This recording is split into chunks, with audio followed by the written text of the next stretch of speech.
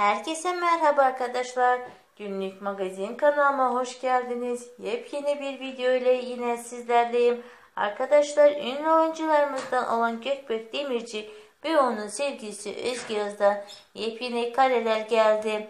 Bildiğiniz gibi arkadaşlar her iki ünlümüz antikayı çok seviyorlar. Bundan önceki e, videomda onları e, antika mağazasında olan fotoğraflarını sizinle paylaşmıştım.